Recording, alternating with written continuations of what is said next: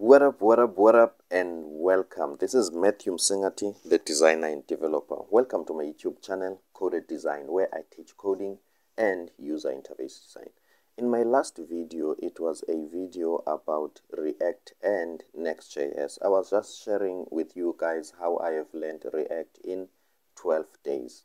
So I've decided I must create a follow-up video where I explain the confusing JavaScript. All the modern JavaScript frameworks, your uh, React, Next.js, your Vue.js, your Angular. I'm just assuming that they are capitalizing on JavaScript, on vanilla JavaScript. So it's very important for us to dive deep into JavaScript to see what it is and um, how it works and how it's being used by these frameworks to achieve whatever they want to achieve. I'm hoping um, I'm laying a foundation uh, for you to some sort of understand React because as for me, React was not easy. I took time to understand it. So I've just realized in order for me to understand how React work and how it is, or not even React, all other uh, modern JavaScript frameworks, I need to understand JavaScript. This video, it's about that. It's more like uh, a foundation phase for a for React. So let's just jump straight into it. So I've prepared my presentation on Figma. So this is Figma. Now let's jump straight into it. Okay, let's talk about JavaScript. Um, JavaScript it's a front-end scripting language. So when I'm saying it's a front-end scripting language, I mean it's browser-based meaning that even if you are not online, as long as you've got Chrome, uh, Internet Explorer, or Mozilla Firefox, JavaScript can run. So, meaning that it runs locally on your machine and particularly on your browser. So, it's a front end and it run on your browser. Um, Java is meant for DOM manipulation. Um, DOM manipulation is um, something like, for instance, this is a web page okay? So this web page as we are hovering uh, over these um, these uh, uh, tags or whatever as you can see that there is a border around it and also there is this uh, lock icon and an eye icon okay?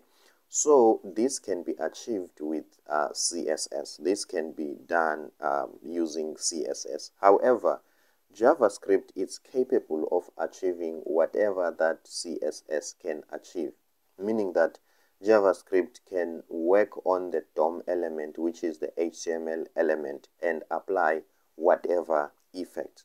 And in most cases, when we're talking about DOM manipulation, you can select any element in the DOM, for instance, like this one, and then hide it or show it as you will using JavaScript. So when I'm saying JavaScript is for DOM manipulation, I mean it's for manipulating HTML elements as you can see here, okay? And also the app that I'm using or the platform that I'm using, Figma, the one that I'm using currently, I think it takes advantage of JavaScript and it manipulates a lot of DOM element because it's a full-blown graphic design application competing um, with your Adobe Illustrator, Corel Draw, which those um, PC-based application. But it does a phenomenal job of creating high quality front-end mockup and even posters. But how it does that by only running on the browser, it makes use of JavaScript. Okay, so also JavaScript is used for being a back-end linker, meaning that let's say uh, when you are creating uh, a form that will communicate with the backend or send information to the backend, you can do that with HTML, a normal HTML form. But at the same time, you can also achieve the same thing with JavaScript, more especially if you are going to send information to the back end or to the database without refreshing your page. Meaning that, for instance, things um, that do that are, are, are, are situations where you have to upload an image or you have to upload a song or you have to upload a document. then that's where you will use ajax in uh, in javascript you send the information without a page refresh so basically that's um, some sort of a brief about javascript. This is information that you know already. It's not something new. I didn't dive deep into javascript. But what i wanted to to drill into your mind is that javascript it's mainly for front end and it runs on the browser. Mainly that's what it is for okay? Now let's jump to front end versus back end what type of code must be done in the front end and what type of code must be done in the back end.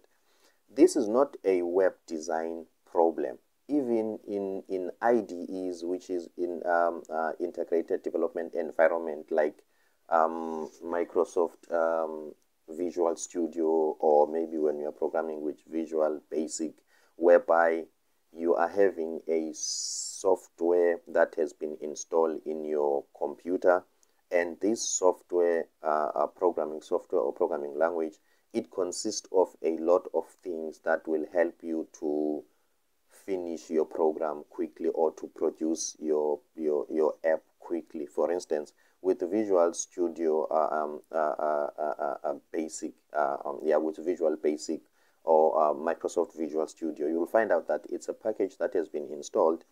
When you want to add some buttons there are some buttons already there when you want to add the back end features of the back end are in the same pack.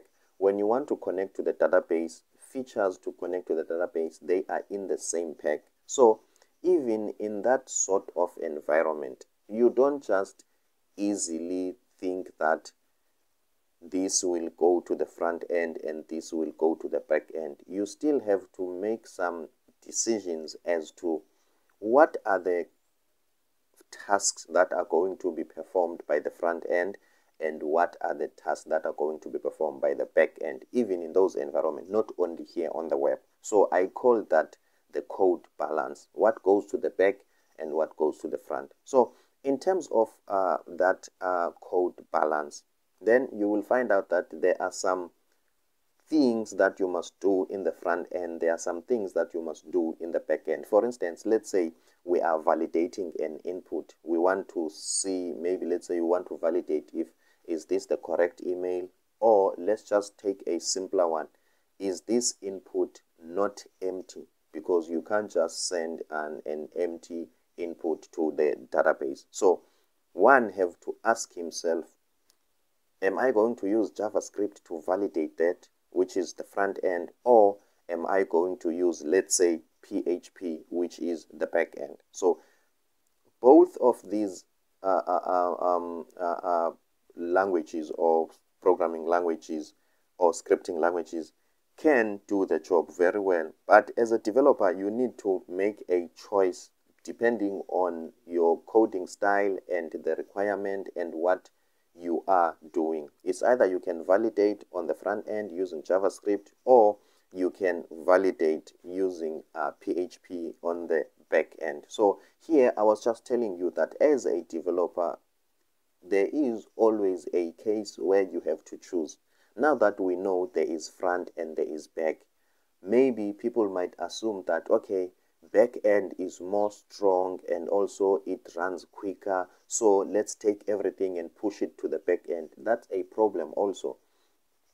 Some people might say that if JavaScript can do almost anything that uh, the, the, the the back end can do why don't we do everything on the front end also still that's a problem so in your programming journey you will have to decide like how the, the, the, the, code load or the code balance what tasks coding tasks are you going to push to the front end and what coding tasks are you going to push to the back end it's not an easy thing you don't just get on the go and feel like let's push everything to the back or let's push everything to the front. So I've already given you an idea, background of what JavaScript does, a very brief one. And also now I'm telling you that you must be aware of code balance. There is a back and there is a front end. And these guys must uh, share the workload or the code load according to, um, let's say, maximum productivity depending on the problem that you are solving. Okay, now let's jump to JavaScript, specifically modern JavaScript. Now, as you have seen that JavaScript is basically for the front end and there is also another part which is called the back end where I can mention PHP. Now, the modern JavaScript, now we are getting into React, Vue.js, and all other modern uh, JavaScript frameworks.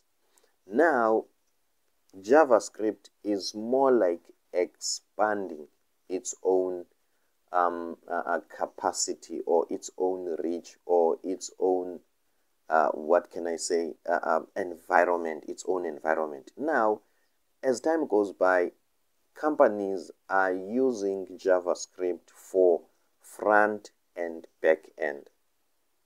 So do you see now JavaScript it's starting to, to, to some sort of overlaps. Before it was easy for us to know that uh, JavaScript is for the back end or JavaScript is for the front end. But now modern JavaScript is starting to some sort of overlap to take the front end aspect of things and also it takes the back end aspect of it. This movement or this shift or this innovation has given birth to modern JavaScript frameworks, your Reacts and your Vue.js and your Node.js. I hope that one is very clear. This is what I wanted to explain. Why now all of a sudden we are having like modern JavaScript framework, React and whatever? It's because of the rise of uh, uh, modern JavaScript or the capability of JavaScript to run in the back end. As I've told you that here JavaScript runs on the browser. That means here even if you you can be offline you cannot be connected javascript can still run because it runs locally on your browser but now here there there are possibilities now these days that javascript can run on the back end which is can run on a server and that give rise to some sort of a new possibility and programmers or uh, big companies are capitalizing on that. Hence, now we've got these frameworks. JavaScript it's starting to, to overlap, it's starting to expand its environment, meaning that you can use JavaScript for front end and back end, of which before you were only using JavaScript for front end. Okay. Without being with that uh, uh, being said or explained, now let's just jump to a little bit of intro into these uh, modern JavaScript uh, uh, frameworks. Okay, so as I've told you that JavaScript um, just it's a it's a scripting language. It's more like a programming language, um, and also it manipulates uh, the DOM, which is the HTML elements. Okay, meaning that when you want to do a little bit of coding, complex coding, you use uh, JavaScript and then um, when there is some sort of normal uh, pure styling you use css and then obviously we cannot do that without html now there is react. Then react comes in. React now is telling us that we can mix html and javascript. It's like we can mix that together. Instead of having to jump to JavaScript whenever you want to manipulate your HTML, your DOM elements, or whenever you want to do complicated uh, CSS styling. Now, React is telling us that, look, I can create a platform or a way where you can be able to some sort of get JavaScript and HTML integrated. And it does that through a, let me call it a language for now, or a syntax or a way of doing, of writing code, which is called JSX.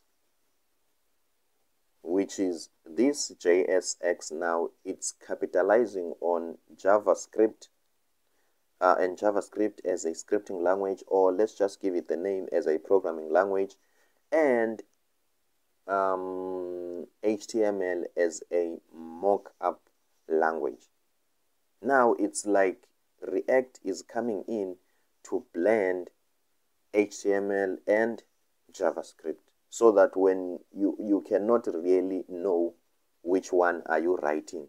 Am I writing HTML or I'm writing uh, JavaScript? So in a way, React makes it easier for you not to worry much about how the HTML element is going to be rendered. You don't really, really, really type a lot of HTML with React because React does that for you behind the scene. So meaning that let's say if you use to write div uh, and opening div and closing div and all other divs, now here you just write one tag and that tag it's a React component and that tag it's mixed with it with JavaScript. So meaning that that tag can be reactive. What do I mean reactive? As soon as anything in that tag changes, automatically in the DOM it will be reflected. I know maybe this part might not be as clear as at the moment, but I will do a follow-up video explaining everything. So what I wanted you to get in this video is that number one, understand JavaScript and how it was and where it's going now so that you can understand how Next.js is capitalizing on that using React at the same time. Because now Next.js is coming to say that if React is trying to mix HTML and JavaScript, trying to create an easy platform for somebody who is not knowledgeable about HTML to be able to uh, uh, uh, uh render HTML and uh, like quicker and easier and faster without writing a lot of HTML and also it's easier for to manipulate that HTML but it does that on the front side on the front end meaning that on the browser only. Now Next.js is coming to push React's capability to the next level to say that if you only do that on the front end, let me come and tell you that there are some pages that we can render on the back end. Using the same technique that you have came up with as React, but now I'm going to help you to render the same pages not only on the front end but to the back end. So that's about it uh, for now uh, just uh, in, in closing, let me tell you that um, this modern JavaScript thing, it's not as easy because it has got a lot of layers and a lot of changes and a lot of pieces. For instance, if we are talking about React, React is not an IDE integrated development environment whereby everything is here. React will tell you that I am solving this problem mixing HTML and JavaScript. Then you have to install another thing to do something else. If you want to add icons, a quick, the quick way of adding icons into React, you must use a certain whatever plugin or whatever that you have to download. So I'm trying to say it's not easy, but in this series of videos, I am going to break it down and explain it conceptually so that you can at least have an entry point as to getting into React and Next.js. Otherwise, I'm Matthew Msengati, the designer and developer. If you feel like this video has added value into overall understanding of the web architecture, React, uh, JavaScript, and modern JavaScript, please do me a favor and hit that subscribe button. Otherwise, this is Coded Design. See you on the next one.